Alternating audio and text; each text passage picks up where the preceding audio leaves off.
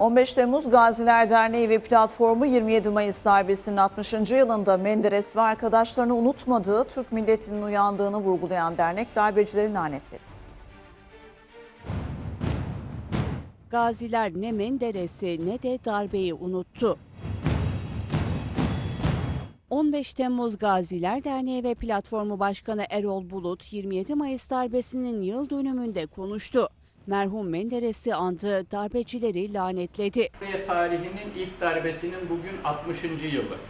Maalesef o darbeden sonra da vesayetçiler belirli aralıklarla bu memlekette darbe yaptılar.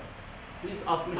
yılında Adnan Menderes'i ve e, dava arkadaşlarını, bakanlarımızı şehit verdik. Daha sonra gene darbeler gördü bu memleket. Tabi 60.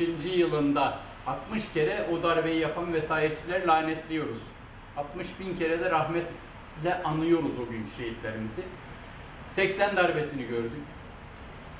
99'daki Pörs modern darbeyi gördük. Bu millet uyandı.